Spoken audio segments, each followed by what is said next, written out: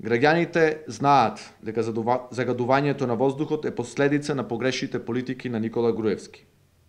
Човекот, кој што потроши 630 милиони евра за споменици во Скопје, ништо не превзема за да го реши проблемот со загадувањето во Битола. Наспроти лагите и виртуелниот свет на Никола Груевски и ДПМН едно е јасно. Граѓаните дишат отров наместо воздух. Приоритет на СДСМ е заштита и подобрување на амбиенталниот воздух со реализирање на гасификација на Битола, проект кој ќе чини 5 милиони евра. Исто колку што ДПМН потроши за студијата за топлификација. ДПМНЕ нема намера да се занимава со решавање на проблемот на загаденоста на амбиенталниот воздух и животната средина.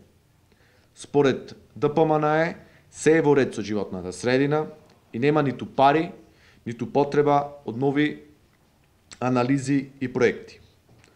Во интерес на граѓаните, јавно ги повикуваме да ги почитуваат одлуките на Советот на Обштина Битола и во најбрз можен рок да испочитуваат иницијативата за изготвување на локален акционен план за животна средина на Обштина Битола и соодветните одлуки кои Советот ги има донесе.